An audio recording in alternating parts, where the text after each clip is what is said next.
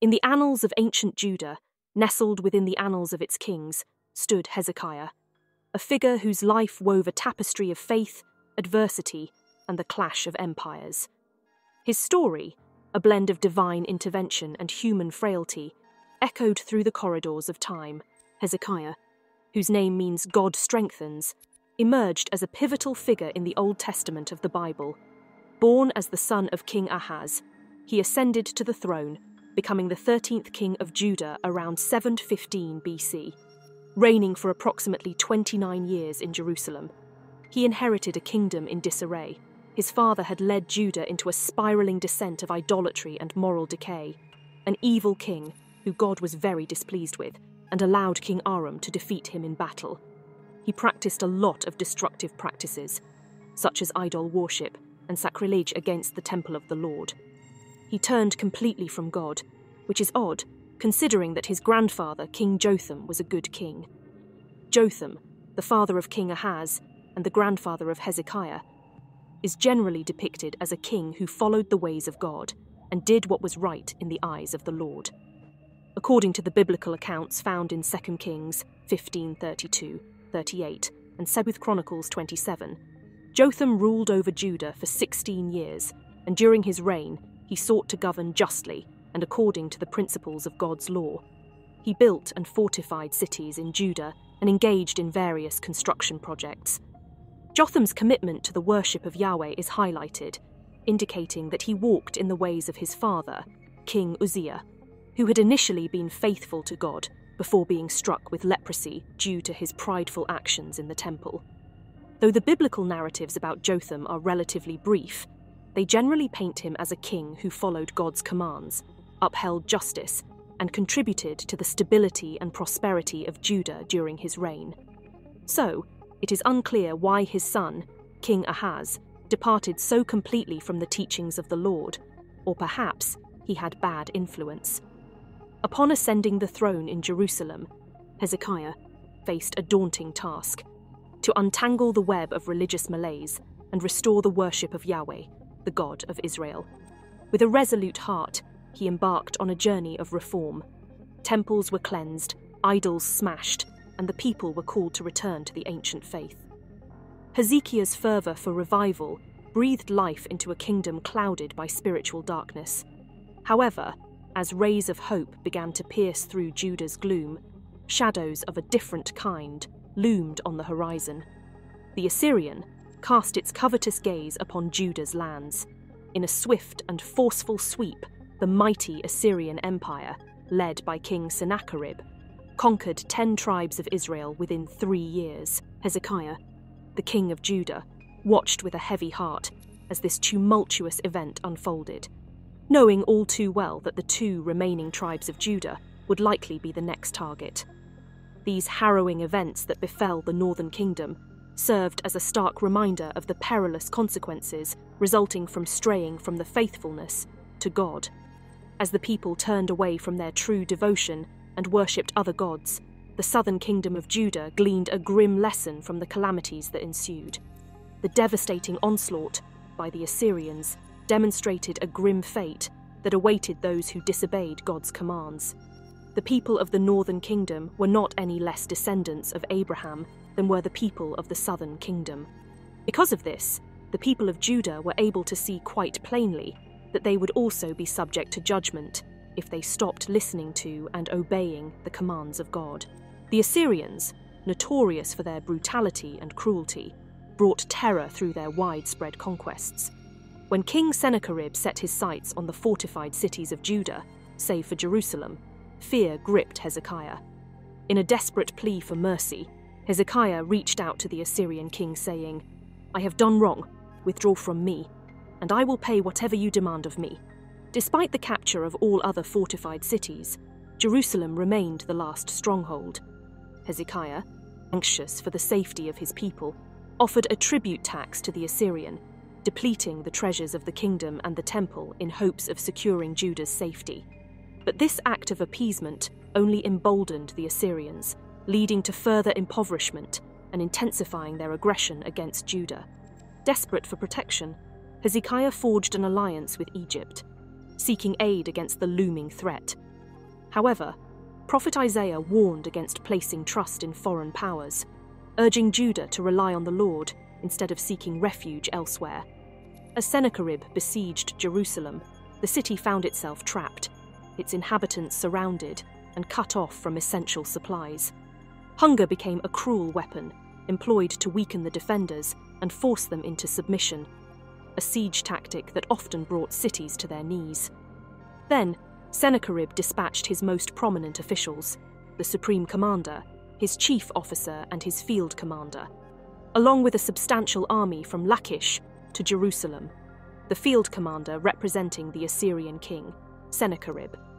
Scaling the mountain, they arrived in Jerusalem and stationed themselves by the aqueduct of the upper pool. The field commander, seemingly in control, positioned himself at Jerusalem's vital water source, crucial during times of siege. Three Jerusalem officials, Eliakim, the palace administrator, Shebna, the secretary, and Joah, son of Asaph, the recorder, went out to meet them. Despite the tribute tax offered to dissuade the Assyrian advance, the field commander conveyed a message to Hezekiah on behalf of the great king of Assyria. Asserting counsel and might for war, he aimed to discredit Judah's reliance on Egypt, likening it to a fragile reed that would only injure those who leaned upon it. He sought to sever Judah's confidence in their alliance with Egypt, despite the seeming logic, in forming a defensive pact with the only nation potent enough to counter the formidable Assyrians. Rather than making a direct advance, the Rabshakeh, also the field commander, used intimidation and discouragement as his tactics. Despite the overwhelming power of the Assyrian army, the Rabshakeh employed psychological warfare, aiming to induce a fear, discouragement, and despair within Judah, coaxing them to surrender without a fight. Mocking Judah's comparatively smaller army, he taunted that even if they were given thousands of horses, it wouldn't make a difference. His underlying message implied Assyria's superiority, intended to instill dread among the leaders and people of Judah. He vehemently proclaimed in Hebrew, discrediting Hezekiah's reassurances of God's deliverance, urging surrender to the king of Assyria. The commander's speech was a calculated attempt to elevate the enemy and undermine the trust of God's people in their leaders. His words were meant to sow seeds of doubt, engender fear, and advocate surrender among the people of Judah, making them believe that capitulation would be advantageous. Hezekiah, not knowing what to do next, turned to God in prayer. O sovereign God, whose might and mercy surpass all earthly power and strife, I come before you humbled and burdened by the weight of our circumstances. As the tumult of the Assyrian threat engulfs our land, my heart seeks your divine guidance and intervention. Almighty and compassionate Lord, you have witnessed the taunts and threats of the Rabshakeh, the intimidation that seeks to undermine the faith of your people. I stand bewildered and uncertain in the face of this overwhelming adversary, unsure of the path to tread amidst the chaos that looms over us. You, who parted the seas and led your people to safety, whose deliverance has been the anthem of our ancestors' praise. I beseech you to hear my fervent cry. Grant me wisdom, O God, to discern your will amidst this turmoil. Strengthen my resolve, and grant me courage to lead your people through this time of turmoil. You are the God of our forefathers, the one who delivered us from bondage, and the cornerstone of our hope. Extend your merciful hand over us, fortify our defences, and shield us from the enemy's schemes. In this moment of uncertainty, I seek your divine assurance that you, in your immeasurable grace, shall be our refuge and strength. Grant us your divine favour, that we may stand firm in faith, unshaken by fear, knowing that you are our fortress and our deliverer. Into your hands I commit the fate of your people and the defence of Jerusalem. May your name be exalted and your sovereignty acknowledged now and for evermore. Amen. After he finished praying, God sent prophet Isaiah to Hezekiah, saying, Thus says the Lord, Do not be afraid, because of the words that you have heard, with which the servants of the king of Assyria have blasphemed me. Behold, I will put a spirit in him, so that he will hear a rumour and return to his own land, and I will make him fall by the sword in his own land. He will not enter this city or shoot an arrow here. By the way that he came, he will return, declares the Lord. True to the prophecy of Isaiah, upon hearing that the king of Assyria had moved from Lachish and was engaged in battle against Libnah, the Rabshakeh of the Assyrian army withdrew with a portion of his forces. That night, the angel of the Lord went out and put to death 185,000 soldiers in the Assyrian camp. When the children of Judah got up the next morning, they found 185,000 soldiers in the Assyrian camp, all dead. It only took one strike from the Lord's angel to rid Judah of its foe 185,000. Assyrian soldiers were slayed in an instant. The Assyrian, like Goliath the Philistine who mocked the Lord, had been defeated. Sennacherib, the king of Assyria, retreated to Nineveh, defeated and humiliated. However, his downfall didn't end there. One day, while he was worshipping in the temple of his god Nisroch, his sons, Adramelech and Sharezer, killed him with the sword, and they escaped to the land of Ararat. And Esarhaddon, his son, succeeded him as king. The victory was unquestionably God's doing, for without the need for weapons or warfare, the unstoppable Assyrian force had been stopped and the seemingly invincible had been defeated. God's divine intervention had saved Judah from destruction, delivering them from their enemies and securing their safety without a single arrow being fired against Jerusalem.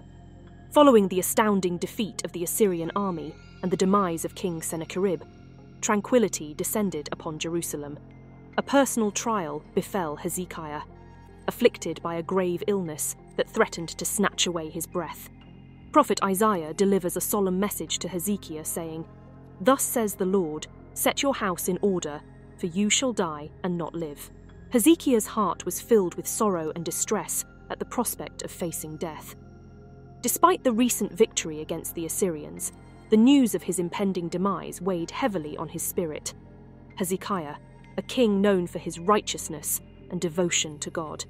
He turned towards the wall and prayed to the Lord, saying, Remember now, O Lord, I pray, how I have walked before you in truth and with a loyal heart, and have done what was good in your sight. He wept bitterly, beseeching God to reconsider and grant him more time to live. In response to Hezekiah's heartfelt prayers, God, in his infinite mercy, heard and acknowledged Hezekiah's plea.